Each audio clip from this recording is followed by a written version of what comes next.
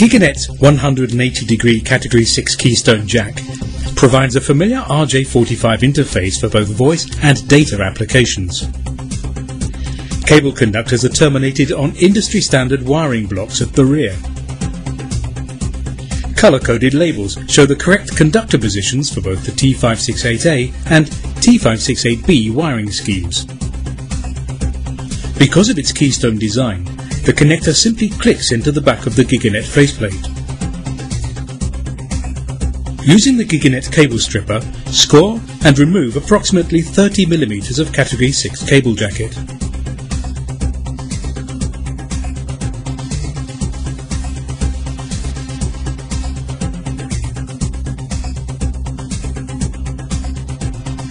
Cut away the nylon cord and central wire separator.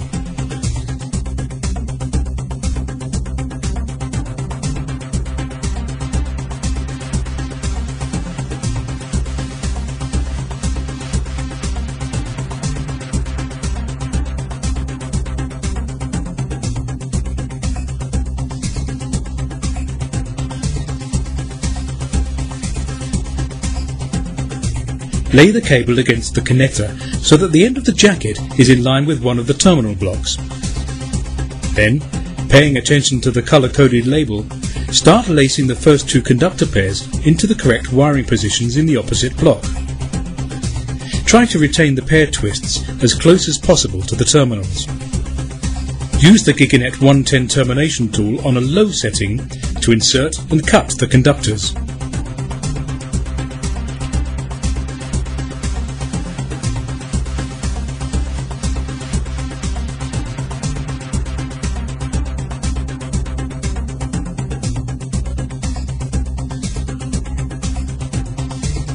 Lace and terminate the remaining two pairs in the same way.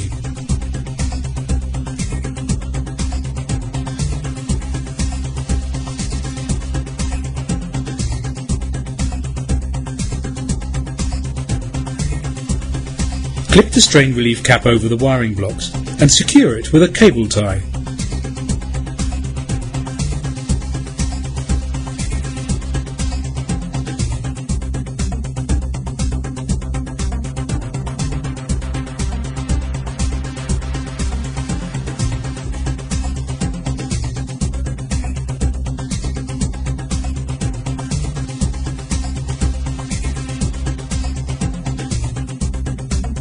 If necessary, the cable can be installed at 90 degrees to the connector.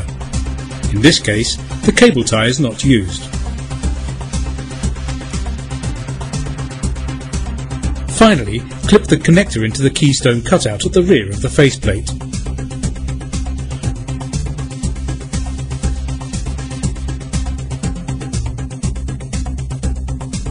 For more information, visit Giganet on the web at www.giga-net.co.uk.